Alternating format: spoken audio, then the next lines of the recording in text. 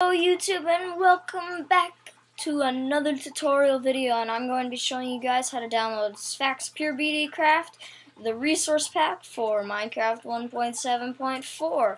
So, you first you're going to go to the link in the description and then you're going to click on it a ton of times and then it'll bring you right here where you want to be. So you want to scroll down and you see all these amazing photographs of the Pure Beauty Craft um, uh, resource pack.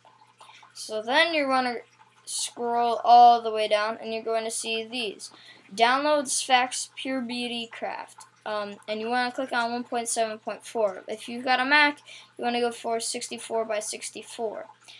Um, it's going to bring you to an AdFly file. It's going to say a bunch of this crap and uh, it'll say and then eventually it'll be counting down over here and you want to say skip ad. Don't do anything for it because you're probably going to download the wrong thing. You skip the ad and then you go and it'll start downloading for you. So Macs 64 by 64 windows 128 by 128 so you download it and then you would get Sphax right here and you drag it anywhere you want it to be. I'm going to drag it right there.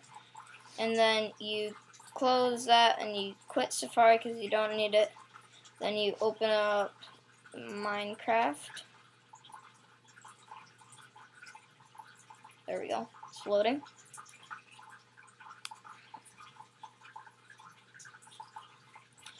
And. Then we go play. And you're going to wait for it to open up, of course, because that's the way Minecraft is.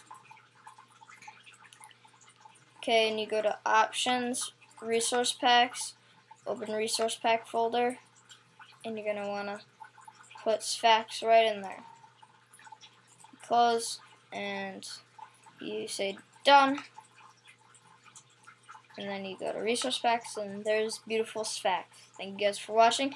Hope you enjoyed and enjoy playing some beautiful Sphax, one of my favorite resource packs ever created. Goodbye. See you later.